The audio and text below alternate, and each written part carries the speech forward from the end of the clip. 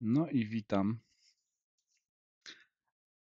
Skończyliśmy etap szósty i przechodzimy do etapu siódmego, e, który to będzie nam mówił o Helmie, czyli no zostajemy w Kubernetesie, tylko zmieniamy metodę deployowania aplikacji. Helm służy do tego, żeby instalować aplikacje na Kubernetesie. Już nie będziemy ich deployować z manifestów, choć de facto manifesty dalej będziemy używać, e, ale będziemy aplikacje instalować i do tego służy Helm. Hmm. To tak, przejdźmy sobie do katalogu, etap siódmy. Tutaj zrobimy sobie charts. I tak, e, jak będzie wyglądał mm, nasze drzewko? Jak wygląda nasze drzewko? E, a więc tak. Mm. To jest tak, że mamy sobie naszą aplikację. Załóżmy, że to będzie się nazywała Kadir. Etap siódmy, epizod pierwszy. I dalej. W środku aplikacji musimy mieć pliki takie jak chart.yam. To jest główny plik, tak jakby manifest, w którym opisujemy nazwę aplikacji, wersję, hmm, ścieżki do plików źródłowych i, tak dalej, i tak dalej. E, co jeszcze można? E, jeszcze można doda dodawać zależności, bo w Helmie są zależności, czyli jakieś inne czarty na przykład. To będziemy rozwijać ten temat. Um, następne.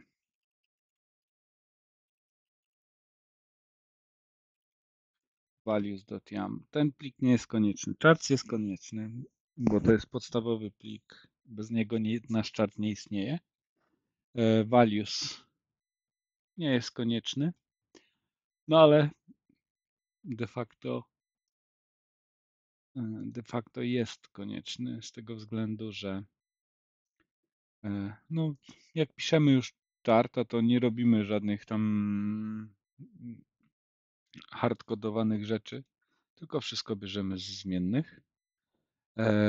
Kolejną rzeczą jest katalog templates. I w tym katalogu templates będą nasze manifesty kubernetesowe. W zmienionej formie, ale de facto te same. No i tyle. I sobie teraz sprawdźmy. I nasze drzewko wygląda tak, że nasza aplikacja ma w środku charts, templates i values. No i to by było na tyle, jeżeli chodzi o stworzenie sobie podstawowej hierarchii. Teraz, jak to zrobić troszkę dynamiczniej? Eee,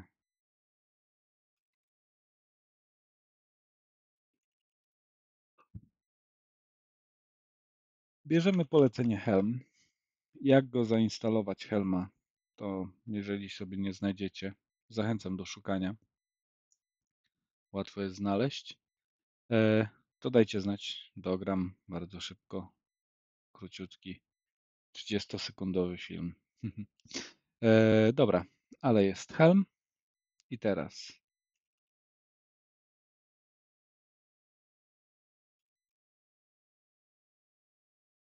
I to jest polecenie Create.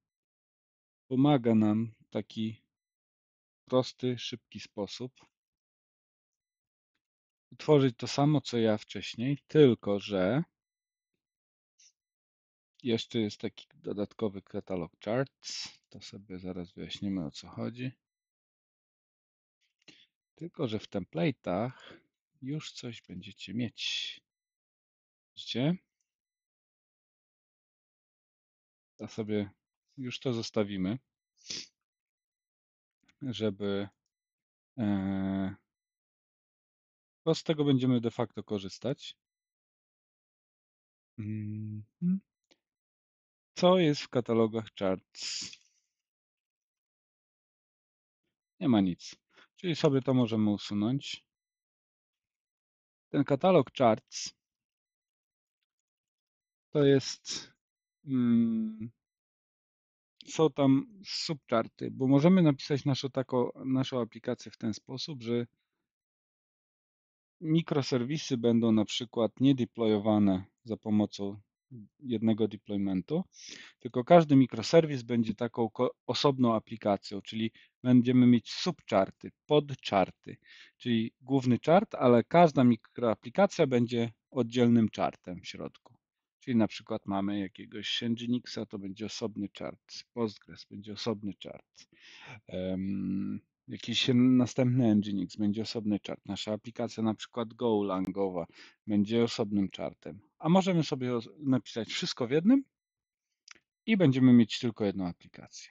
To jest, od czego to zależy? To zależy od skomplikowania projektu, na którym się pracuje i od tego, co będzie łatwiej po prostu. Trzeba zrobić analizę. E, tutaj zazwyczaj się to robi z deweloperami, żeby się dowiedzieć, jakie są zależności między e, komponentami aplikacji. Jeżeli to jest jedna aplikacja i nie ma tam nic więcej, żadnego skomplikowania, czyli robimy sobie, deployujemy sobie do jakiegoś, nie wiem, Angulara na przykład, jakiegoś front, frontend i, i, i tyle, i nie ma tam nic więcej, no to nie, nie ma co sensu tego zagnieżdżać, tak?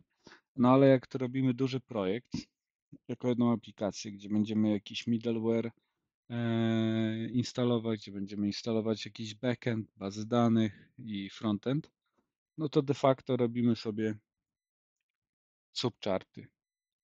E, no, tam jeszcze wyższy poziom abstrakcji wchodzi, bo e, razem z architektem, na przykład w pracy, można sobie zrobić jakieś e, główne czarty, na przykład baza danych. Korzystamy z bazy danych. To robimy korporacyjne czarty, które będą używane przez wszystkie, e, przez wszystkie na przykład zespoły. Z tych czartów ma, mają korzystać wszystkie zespoły, żeby łatwiej było zarządzać tym. I później z, dociągamy je już nie jako subcharty, tylko jako zależności. E, zależności to już pokażę w e, kolejnych częściach, bo to, to wszystko będę też pojedynczo pokazywał, żeby filmy nie były za długie i żeby łatwo to było przyswoić. E, dzisiaj jest ogólnie taka pogadanka, żeby Wam wytłumaczyć, no, pokazać jak, jak to się planuje, jak, jak to się robi, te deploymenty. To tutaj ten sposób, że w template'ach mamy deployment, jakiś ingress, no to już wiecie co jest ingress, bo się dowiedzieliście z Kubernetesa E, jakiś serwis, serwis account, jest w zaawansowanej części kursu. Ale macie serwis, ingress i deployment, czyli macie aplikację i no mm, i to jest podstawowe. Jedna aplikacja, nawet nie jedna, bo można skonfigurować sobie więcej. Można na przykład sobie e, jeden typ aplikacji zrobić za pomocą tego, który będzie deployowany na przykład na e, mm, dla, dla innych, e, nie wiem, dla e, trzy różne frontendy, ale wszystkie zrobione w Nginxie, no to robimy sobie jeden taki deployment i tylko tam zmiennych sobie e, dodajemy zależności. No wszystko wytłumaczę, jak to się robi. E, ale przy bardziej skomplikowanych projektach no, używa się subchartów.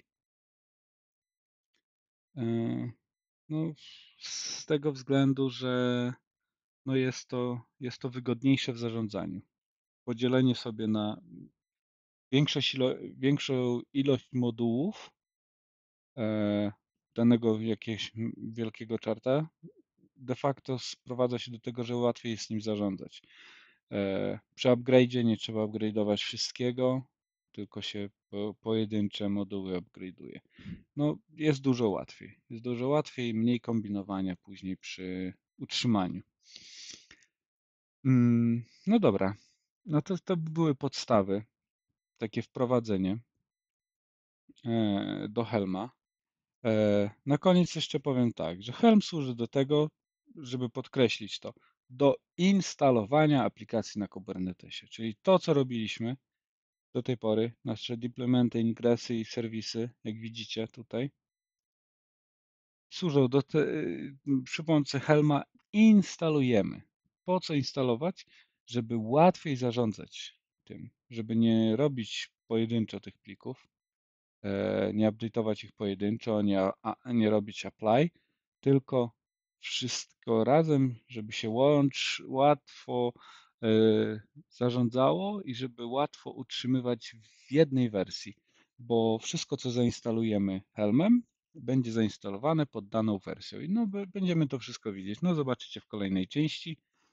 E, zaczniemy coś sobie robić, może mm, jakiegoś demo bym zdeployował. Nie, coś sobie napiszemy sami. Czyli e, lekcje będą wyglądały tak, że na koniec, dopiero na koniec zainstalujemy aplikację. Przez ten cały czas będziemy ją sobie pisać, a na koniec zainstalujemy. No. Zaawansowane rzeczy, takie jak helper TPL, e, no to w zaawansowanej części kursu, bo to jest taki już zaawansowany język tutaj template'ów. E, no, w podstawowej wersji będzie nieskomplikowanie, ale tak, żeby można było zostać juniorem. To wszystko na teraz, w tym pierwszym epizodzie. Troszkę się przyciągnęło, no ale nie jest za długo, także zapraszam na kolejną lekcję. Już będzie coś właściwego. Zaczniemy pisać nasze zmienne i deploymenty. Także dzięki za uwagę i do następnego. Cześć.